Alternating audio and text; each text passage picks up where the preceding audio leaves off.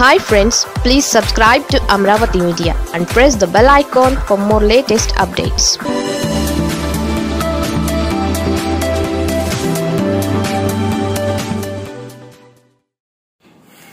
అందరికీ నమస్కారం. ఈరోజు ఒక విషయం మీతో పంచుకోవాలనుకుంటున్నాను. మనం చాలామంది విజేతలను చూస్తూ ఉంటాం. మనకేం కనిపిస్తుంది? ఆ విజేత తను ఏ రంగంలో అయితే విజయం సాధించాడో ఆ విజయమే కనబడుతుంది. కానీ దాని వెనకాల ఉన్న శ్రమ కష్టం కనపడదు మనం గుర్తించాం. అలాగే ఆ విజేత ఒకవేళ డబ్బు సంపాదించాడు అనుకోండి ఆ డబ్బునే చూస్తాం. దాని వెనకాల నిద్రలేని రాత్రులు కష్టాలు అతను త్యాగం చేసిన పరిస్థితులు గమనించాం. కేవలం ఈ రెండింటి గురించే మాట్లాడతాం. సంపద విజయం. ఈరోజు ఎంతో శ్రమపడి ఒక గొప్ప స్థాయికి చేరిన ఒక వ్యక్తి గురించి నేను అదే విధంగా మాట్లాడాలనుకుంటున్నాను. తను దిగువ మధ్యతరగతి కుటుంబంలో పుట్టి ఎంతో శ్రమపడి కష్ట నష్టాలకు ఓర్చి జీవితంలో గొప్ప స్థాయికి చేరుకున్న ఒక విజేత కథ మీకు చెప్తాను. తను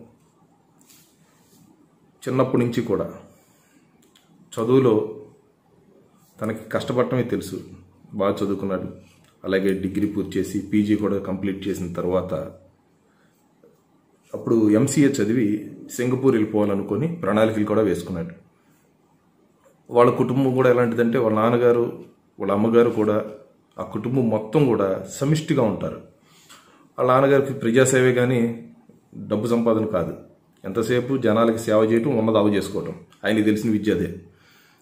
కానీ ఆ కుటుంబం కోసం మొత్తం వాళ్ళ ఆ తల్లి పడిన కష్టం శ్రమ ఆ తండ్రి కూడా పిల్లల కోసం పడిన తపన ఇవన్నీ కూడా ఆశ్చర్యంగా ఉంటాయి. ఆ కుట ఆ వ్యక్తి చుట్టూ కూడా ఆ కుటుంబం ఎంతో శ్రమపడి వాళ్ళంతా ఒక చక్కటి బొమ్మరిల్లాగా తీర్చిదిద్దుకున్నారు. ఇప్పుడు సింగపూర్ వెళ్ళిపోదాం అనుకున్న యువకుడు ఎందుకో అనుకోకుండా పరిస్థితులు మరి అలా మారిని. రియల్ ఎస్టేట్ రంగంలో వచ్చాడు. హైదరాబాద్ వెళ్ళి రియల్ ఎస్టేట్ రంగంలో మొట్టమొదటగా అడుగుపెట్టి కొంచెం కొంచెం తను కంపెనీల ద్వారా రియల్ ఎస్టేట్ సైట్స్ అమ్మటం మొదలుపెట్టాడు. అయితే ఆ సైట్స్ అమ్మే విధానంలో తన మీద కొంతమందికి నమ్మకం ఏర్పడి డబ్బు పెట్టుబడిగా పెట్టారు.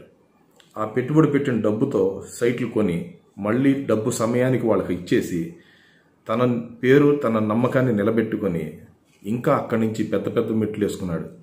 తను గురించి నాకు తెలుసు మా స్నేహితులు కూడా చెప్పేవాళ్ళు అది రియల్ ఎస్టేట్ తనతో పాటు చేసిన వాళ్ళు ఒక్కొక్క సైటు అమ్మాలంటే హైదరాబాద్లో ఎంప్లాయీస్కి ఒక సైట్ అమ్మాలంటే వాళ్ళు తెల్లవారుజామున ఆరింటికి ఆరింటికి వెళ్ళాలి వాళ్ళ ఇంటికి ఒక సైట్ చూపించాలంటే. దానికోసం హైదరాబాద్లో చాలా దూరం ఉండి ఎక్కడికో వెళ్ళాలి.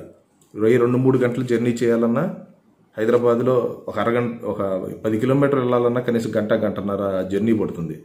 అందుకని ఆ ఎంప్లాయీస్ చాలా మంది ఉండేవాళ్ళు వాళ్ళు చూపించడం కోసం తెల్లవారుజామున ఆరింటికి ఆ ఇంటి ముందు ఉండి అతనికి వాళ్ళని తీసుకెళ్ళి సైట్ చూపించి అలా కష్టపడ్డాడు. అలా సేల్ చేసేవాళ్ళు. మళ్ళీ దీనికోసం ఆ రాత్రి అంతా తిరుగుతూ ఉండేవాళ్ళు కారులోనే నిద్రపోవటం కూడా. రెండు మూడు గంటలు మళ్ళీ వెళ్ళటం మళ్ళీ రావటం అన్నీ చేయాలన్నా చాలా ఇబ్బందిగా ఉంటుంది కాబట్టి ఆ కారులోనే నిద్రపోవటం. వాళ్ళ కోసం తన సమయాన్ని అక్కడ వెచ్చించకపోతే తెల్లవారుజామున మళ్ళీ ఒక మనిషి మిస్ అయితే మళ్ళీ సైట్ మిస్ అవుతుందని చెప్పి అంత కష్టపడి నిద్రలేని రాత్రులు. రెండు మూడు గంటలే నిద్ర. ఇవాళకి అదే అలవాటు.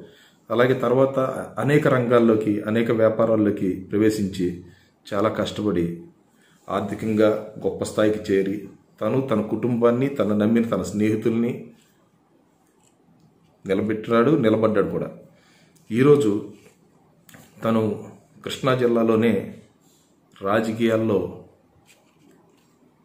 నెంబర్ వన్గా నిలబడి తను పోటీ చేసిన కాన్స్టిట్యున్సీలో నుంచి కృష్ణా జిల్లాలో టాపర్గా గెలిచాడు.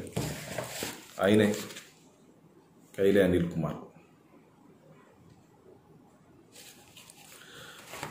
ఈయన మా నా మిత్రుడు అవటం నా అదృష్టం.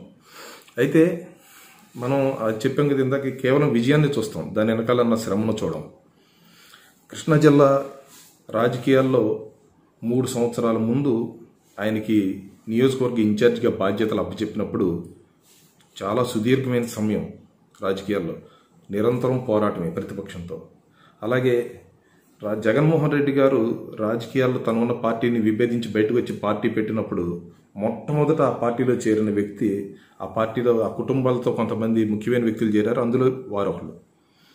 అదే సమయంలో జగన్మోహన్ రెడ్డి గారన్న రాజకీయ రాజశేఖర రెడ్డి గారన్న ఎంతో ఆ కుటుంబానికి చాలా ఇష్టం. వారింటికి మాకు ఎప్పుడు పిలుపు వచ్చేది ఈరోజు విజయం గారు వస్తున్నారని విమలమ్మ గారు వస్తున్నారని వాళ్ళ ఇంటికి అంత సన్నిహిత సంబంధాలు రాజశేఖర రెడ్డి గారి కుటుంబంతో మొదటి నుంచి ఉన్నాయి. ఈరోజు ఆ తర్వాత మూడు మూడు సంవత్సరాల పాటు తను ప్రతిపక్ష పార్టీలో ఉండి ఎంతో శ్రమపడి తనున్న రాజకీయ పార్టీని గెలిపించడం కోసం తను తను గెలవడం కోసం ఎంతో కష్టపడ్డాడు. తను నమ్మిన ప్రజల కోసం ఈ రోజుకి కష్టపడుతూనే ఉన్నాడు. అయితే మనకు కనబడేది ఏంటంటే విజయమే మనం చూస్తాం కానీ దాని వెనకాల ఉన్న శ్రమను మనం గమనించం గుర్తించం.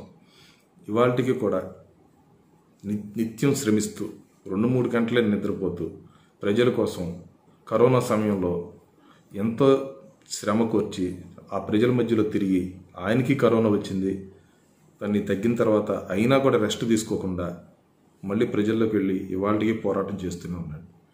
ప్రతి యువకుడు అనుకుంటాం మనం ఊరికే డబ్బు వస్తుంది ఊరికి విజయం వస్తాను. ఊరికి డబ్బు ఊరికి విజయం ఎవ్వరికీ రాదు. చాలా శ్రమ ఉంటుంది.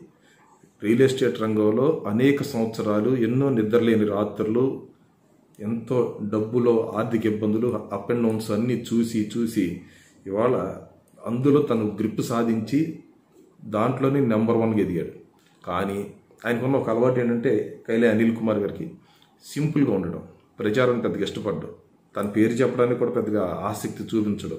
అప్పుడే మాకు తెలుసు తను బాగా కష్టపడ్డాడు గొప్ప స్థాయికి వచ్చాడని. ఎక్కడా కూడా తనని ఆ విధంగా చూడటానికి ఇష్టపడ్డాడు నేనేముంది నాకన్నా మూడు మంది సంపాదించారు కష్టపడ్డారు అన్న అనే మాటే తప్ప ఎప్పుడు కూడా తన అహాన్ని ప్రదర్శించడం కానీ ఎదుటి వాళ్ళని కించపరచడం కానీ తెలియని గొప్ప నాయకుడు. నాయకుడు అని ఇప్పుడు అనడం కాదు నేను ఆనాడే అన్నాను. పదేళ్ళ క్రితమే నేను నా స్నేహితుడైనా కూడా మేమంతా కలిసి చదువుకున్నప్పుడు కూడా చిన్నప్పుడే కొన్ని లక్షణాలు బయటకు వస్తూ ఉంటాయి. మేమంతా కొంత చిన్నపిల్లల తరహాలో ఉన్న టెన్త్ క్లాస్లోనే ఆ రోజుల్లోనే కొంత మెచ్యూరిటీని ప్రదర్శించేవాడు. ఆ తర్వాత ఇంటర్మీడియట్ తర్వాత బీబీఏ ఆ తర్వాత ఎంసీఏ చేసి ఒక గొప్ప స్థాయికి ఆ రోజుల్లోనే ఎంసీఏ అంటే అప్పుడు మంచి కంప్యూటర్ రంగం బాగుంది. వెళ్ళిపోవాలనుకున్న సమయంలో మరి భగవంతుడు ప్రజాసేవ కోసం ఇక్కడ లాక్కొచ్చారేమో. సింగపూర్ వెళ్తే సాఫ్ట్వేర్ కంపెనీలు అలా అలా వెళ్ళిపోయేవాడు. ఈరోజు ఎమ్మెల్యే అయ్యి కృష్ణా జిల్లాలో పామర్లో గొప్ప పేరు తెచ్చుకొని ఇవాళకి ప్రజాసేవ చేస్తూ నెంబర్ వన్గా నిలబడ్డాడు. ఇటువంటి యువకుల్ని ఇలాంటి వారిని మనం మనం ఎక్కడెక్కడో విజేతలను కానీ ఎక్కడ ఉంటారని అనుకోవాల్సిన అవసరం లేదు. మనతోనే ఉంటారు మనలోనే ఉంటారు. మనం సరిగ్గా గమనించుకుంటే మన స్నేహితుల్లోనే ఉంటారు. ఎవరినో గొప్ప సినిమాల వాళ్ళని సెలబ్రిటీస్ని ఇన్స్పిరేషన్ అని అలా అనుకోవాల్సిన అవసరం లేదు. నేనైతే నాకు ఇన్స్పిరేషన్ కొంతమంది వ్యక్తులు ఉన్నారు. అందులో ముఖ్యమైన వ్యక్తి ఈయన నా మిత్రుడు కైలా కుమార్ గారు. Thank you.